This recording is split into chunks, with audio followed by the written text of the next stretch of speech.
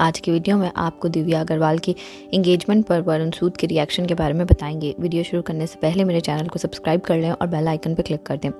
जैसे कि आप सब जानते हैं कि दिव्या अग्रवाल और वरुण सूद का कपल काफ़ी फ़ेमस कपल था। दोनों स्प्लिट फ़िल्म में मिले।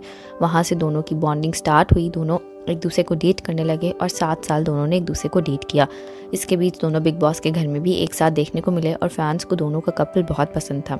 दोनों शादी भी करने वाले थे बट फिर दोनों के बीच कुछ मिसअंडरस्टैंडिंग्स के कारण ये रिश्ता टूट गया और दोनों ने अपने अपने इंस्टाग्राम हैंडल के थ्रू इस रिलेशनशिप के ब्रेकअप के बारे में इन्फॉर्म किया। ब्रेकअप होने के एक साल के बाद दिसंबर फोर ट्वेंटी को, जिस दिन दिव्या अग्रवाल की बर्थडे थी, उनके एक फ्रेंड ने उन्हें प्रपोज किया और उन्होंने ये प्रपोजल एक्सेप्ट कर लिया और दोनों ने एंगेजमेंट कर ली। बहुत ही ड्रीमी प्रपोजल था।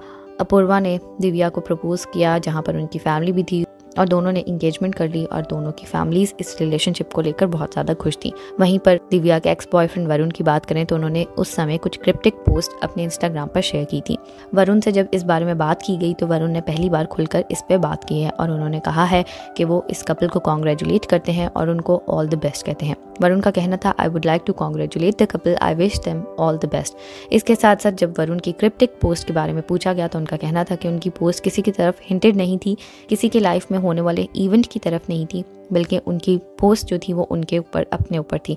उनका कहना था, जो उन्होंने सॉन्ग पोस्ट किया था, वो उनके एक फ्रेंड ने सॉन्ग गाया था, इसलिए उन्होंने उसको सपोर्ट करने के लिए वो सॉन्ग अपने इंस्टाग्राम पर लगाया था और जो क्रिप्टिक पोस्ट थी, वो भी उनको कुछ न्यू प्रोजेक्ट्स मिले थे, जिस पर उन्होंने वो पोस्ट लगाई थी।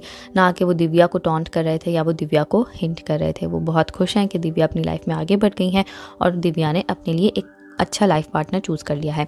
जबकि फ़ैन्स की बात करें तो फैंस को दिव्या अग्रवाल का इतनी जल्दी मूव ऑन होना अच्छा नहीं लगा और जब दिव्या अग्रवाल ने अपनी इंगेजमेंट की पोस्ट लगाई थी तो उन्हें थोड़ा सा बैकलैश भी सामना करना पड़ा था, जिसमें फैंस का कहना था कि सात साल उन्होंने वरुण सूद को रिलेशनशिप में रही हैं, उनके साथ रही हैं और अब एकदम से उनको छोड़ के न्यू रिलेशनशिप भी बना लिया, बट के कुछ लोग उनको सपोर्ट भी कर रहे थे कि उनकी लाइफ है और उन्हें अपनी लाइफ में आगे बढ़ने का पूरा पूरा हक है। We wish all the best to the new couple और हम आशा करेंगे कि वरुण सूद को भी उनकी ड्रीम गर्ल ज़रूर मिल जाए। आप इस सब पर क्या कहना चाहेंगे, हमें कॉमेंट्स में बताना ना भूलिएगा।